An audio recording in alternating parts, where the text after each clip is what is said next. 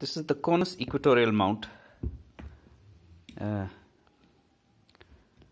this is the declination section so the telescope actually sits here. So the telescope sits here in this groove in this direction like this. Um, and this is the declination section so it's turned by this gear. And over here is the right ascension which again is turned by this gear. And these are the motor mounts. So one on this side for the declination and another for the right ascension. And uh, initially I had planned to use servo motors here so that I could uh, the idea was to convert this entire device into a go-to mount. So in order to in, so something that I could tell via my computer or a Bluetooth device to go to a certain position in the sky, some particular declination value and some particular right ascension value so that it would point at a given star that I wanted it to point at. So to achieve that I needed precise position control of these gears. Now I don't have the original motors here but they were just plain DC motors with a with a little gearbox on with their own little gearbox. So I could turn both these axes through the computer just by applying voltages to those uh, to the motors. But I couldn't achieve position control because there was no feedback coming from here to the computer telling me how much exactly the motor had turned. They were just plain DC motors in both these both these uh, mounts. So my initial idea was to replace these with stepper motors so that I could get position control because on a stepper motor I know exactly how many steps a motor has turned and so then I can keep track of exactly how far this has turned and how many degrees this has turned. But unfortunately if you look at the mount here the hole which so the so the motor is actually supposed to sit on this side and the, the motor sits on this side uh, the the housing of the motor would come here and the shaft would stick out through this hole and then be able to turn this gear. So the shaft comes out, motor shaft would come out from this hole and then be able to turn this gear. The trouble is, as you can see, that hole is actually offset from the center. Similarly with this one, it's not in the center, it's offset. Uh, so I can't use a classical stepper motor for this because stepper motors have the shaft right in the center. So I'd have to drill another shaft here another hole here for the stepper motor shaft and then somehow come up with another gearing mechanism to link that shaft to this gear which is uh, which has been bit too much for me. So I decided to go in for a DC motor. So this one I bought on a website in India called robu.in and uh, their their brand name is actually Orange. It's their own brand name. I believe these motors are made in India. And uh, so there's just a DC motor here 12 volt DC motor I bought the 10 RPM version which is the highest torque they have because I, I would like a lot of torque to move a heavy telescope.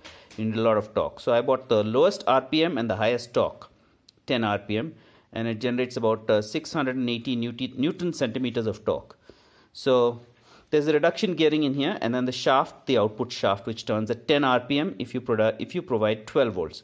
And luckily for me these fit perfectly into the uh, the original hole. So you can see that here.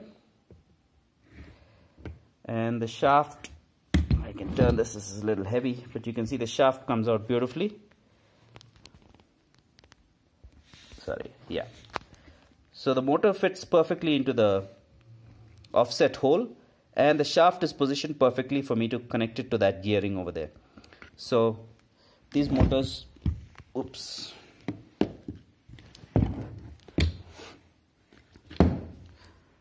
so these motors would fit perfectly for me and uh, I should be able to fix them into the structure quite easily.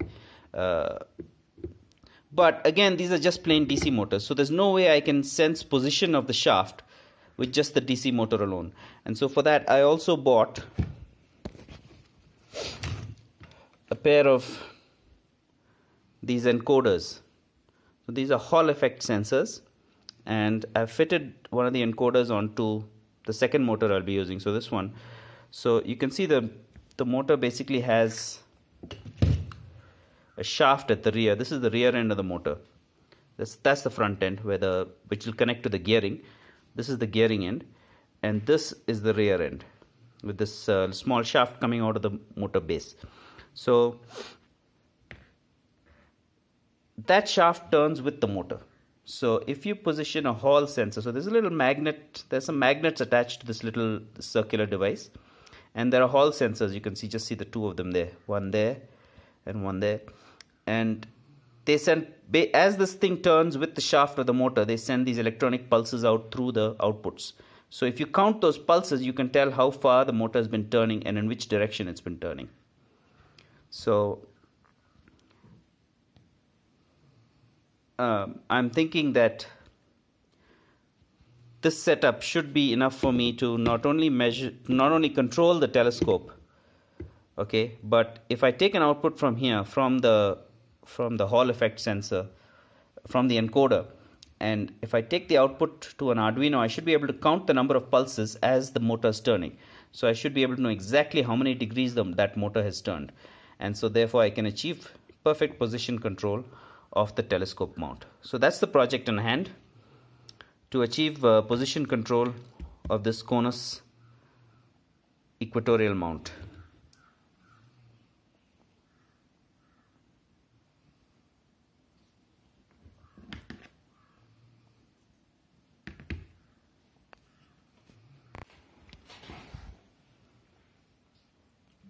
So here's a test setup with the DC motor these are the orange 12 volt 10 rpm motors. So as you can see there are six leads that come out. And uh,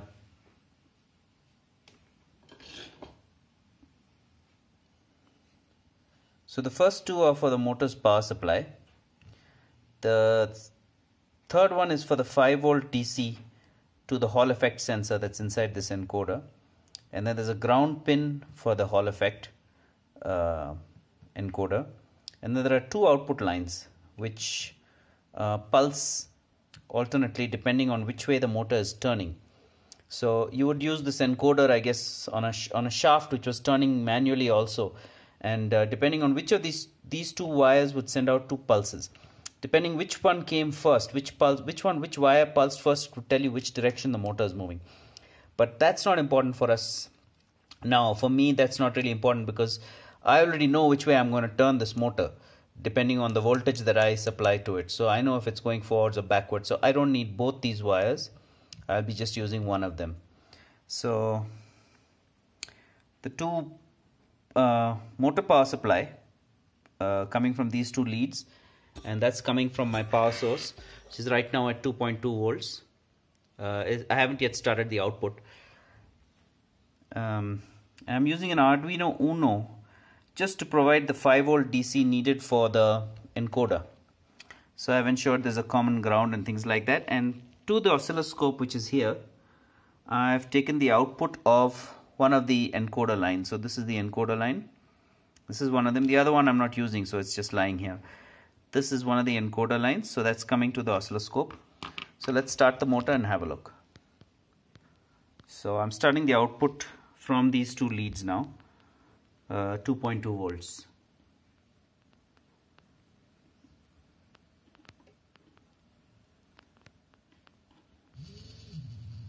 Alright. So you can see the motor turning slowly. There you go. The motor shaft.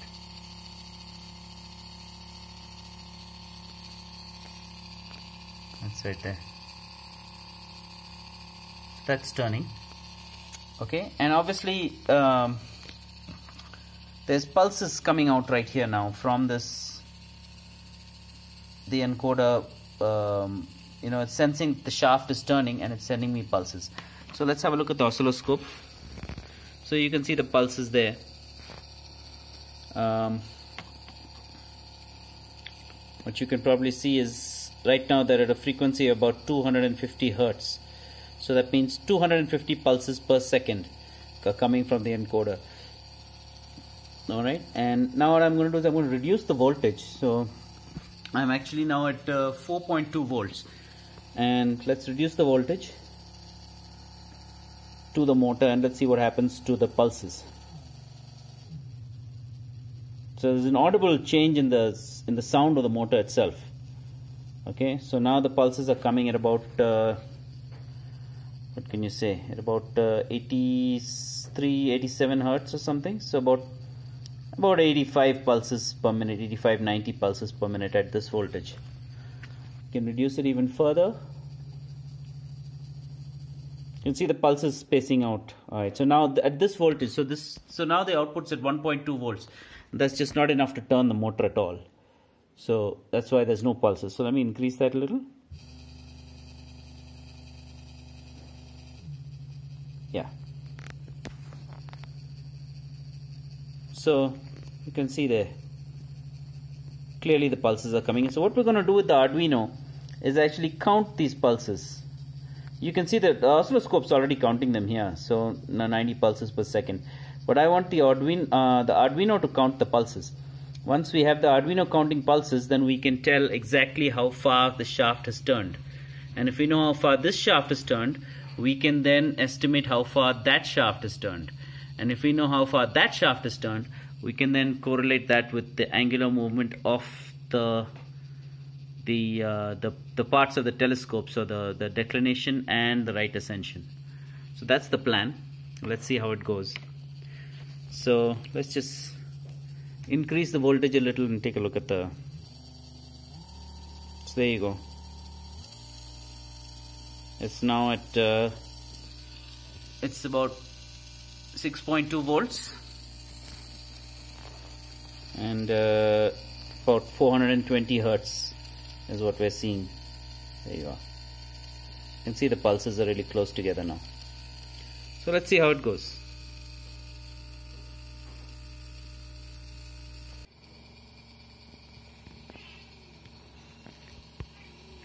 all right well now the motor is connected to the Arduino.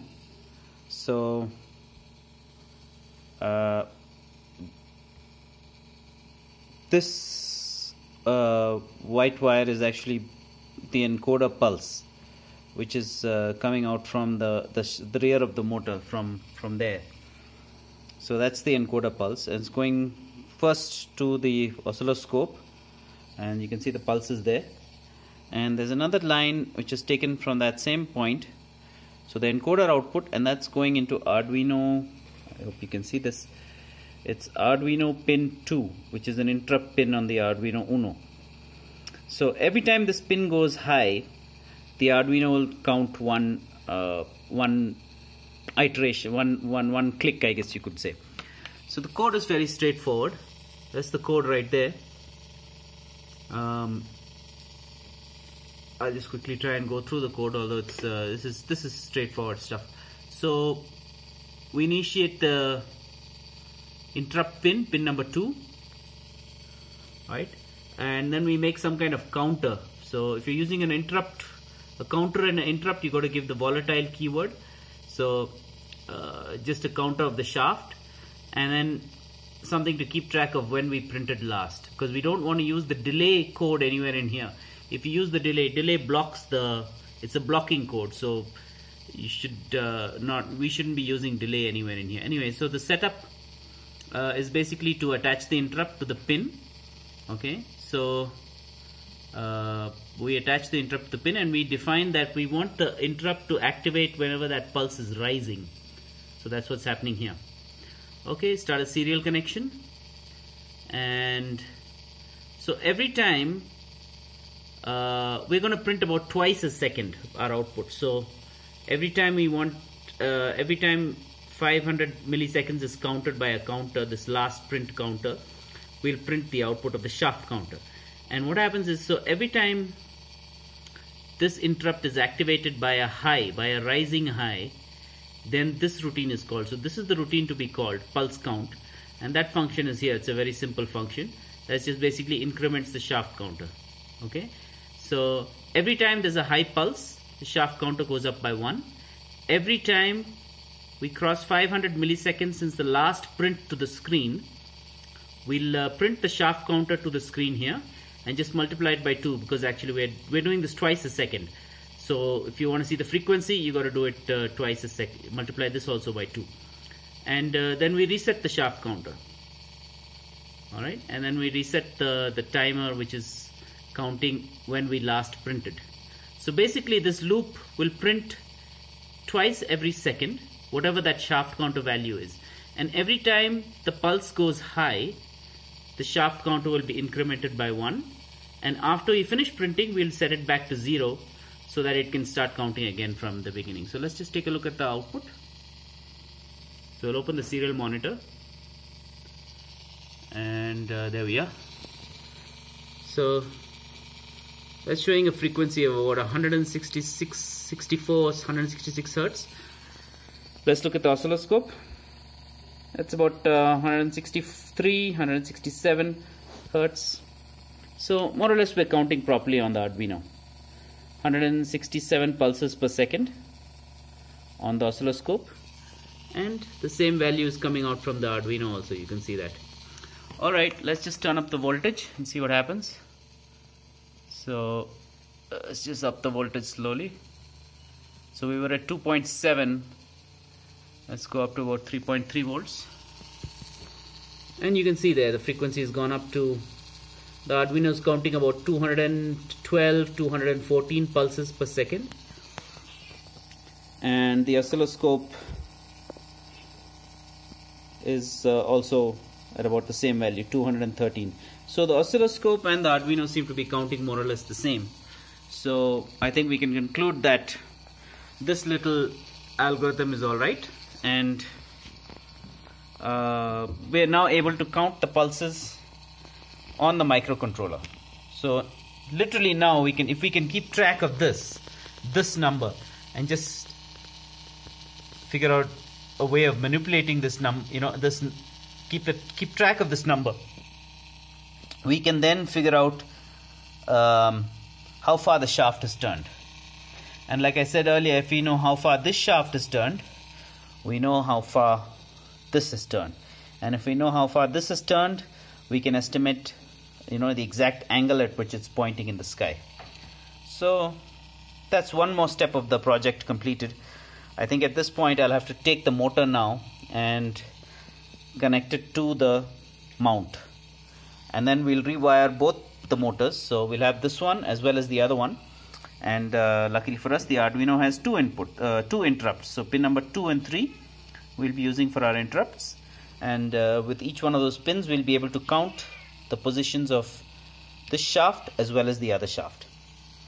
So it's time for some uh, construction work now. I got to figure out how to fit this motor onto the mount alright so I hope that's clear this is how we use an interrupt service routine to count uh, pulses from an encoder and like I said earlier this encoder actually has two pulse, two input, two output pins. So this one as well. Uh, because I'll be controlling the motor direction by just changing the voltages around, I don't need this uh, encoder line.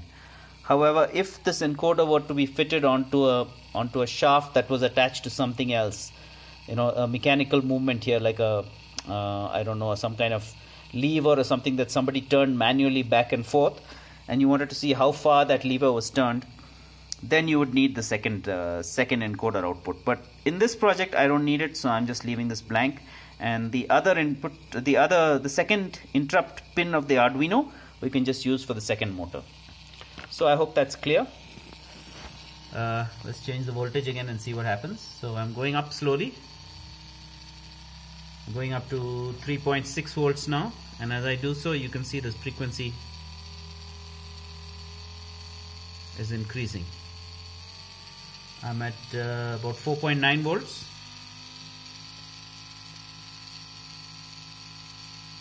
So about 370 hertz is what the Arduino is counting. And the oscilloscope is also at about 370 hertz. hertz 367 over here. So I think we can call this a reasonable success.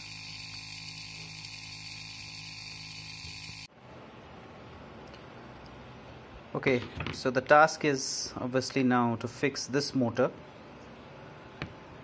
into this bracket here so initially what I did is this motor has uh, these these holes drilled in in there uh, so you know you can screw it into place so initially I tried to drill the holes into this as you can see this becoming a bit of a disaster situation here um, and so I abandoned this approach and I decided uh, to let software do the work for me. The problem with drilling this is because it's in this funny structure, you can't really get the drill bit in evenly, you know, at a, at a proper angle. So there's a lot of problem. It's just looking too disastrous for me to proceed. So uh, let's bring in some software and solve the problem with a little bit of clever programming. Okay, so this is OpenSCAD and what I've done is I downloaded the motor specifications, the dimensions of the motor off the internet and I designed this mount. So you can see that that's the motor mount and uh, this cut you can see here. This cut is actually done on purpose because uh, it's the way the the mount the this mounting surface. Um, see this this hole is actually too close to the edge to allow for a perfect uh, full circle uh, full cylinder for support. So I just had to slice it over there. Anyway so this is OpenSCAD and here's the code. Uh, really easy to design 3D stuff with this. Uh, there are the holes um, for the bottom of the mounting. Okay? And here they are under print. So it'll take about an hour or so to print them. And uh, then we'll see how we've done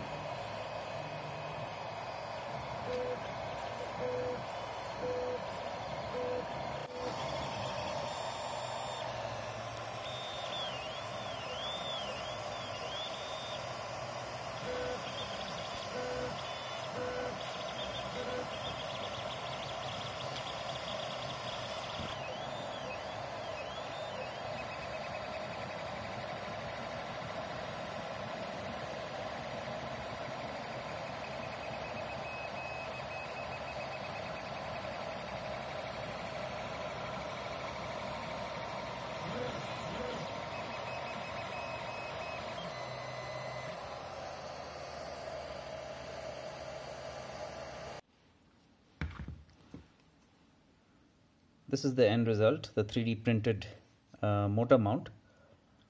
So you got the screws you got the holes for the screws that attach the motor the holes for the shaft and these four holes in the corners are the ones that attach to the telescope mount itself. So should just be a push fit. This is the motor orange uh, 10 rpm so it should just push into place. That's it. So that's a perfect fit. It's sitting nice and snug but I will be putting some screws in and this fits onto the telescope uh, mount. And you can see that yeah I've already fitted one of these. So that's the motor now screwed into the mount. And uh, yeah. Seems to be fitting okay. Let's look at the other side.